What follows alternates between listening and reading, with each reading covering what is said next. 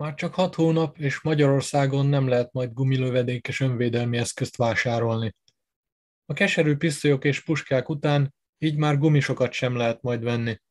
Még a játékokat is elveszik az emberektől. Mi lesz legközelebb? A gázriasztók vásárlását is megtiltják? Januártól már csak lég- és gázriasztó fegyvereket lehet engedély nélkül vásárolni, a gumilövedékes fegyvert pedig 2023-tól kivonják a forgalomból. Sorozatnövést ad le egy AR-15 típusú fegyverrel a Gepád lőtér tulajdonosa. A lövedék csak nem a hangsebesség háromszorosával csapódik a falba. Az éles fegyvert megfelelő körülmények és felügyelet mellett bárki kipróbálhatja.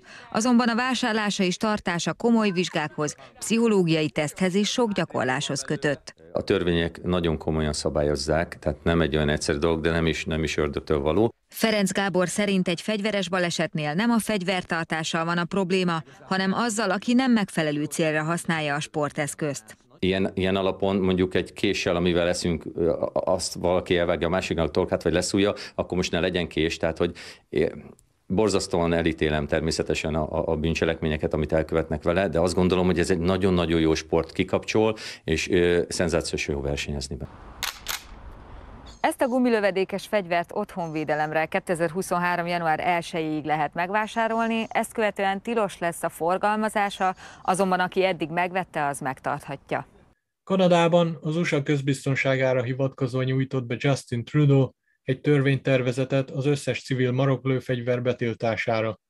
Elég esélyes, hogy átszavazzák majd a politikusaik. Egyelőre most megindultak a kanadai polgárok, és gyorsan vásárolnak, amíg lehet, mert a tervezet a magyarországihoz hasonlóan csak az új vásárlásokra vonatkozik, nem azokra a fegyverekre, amiket már megvettek a polgárok.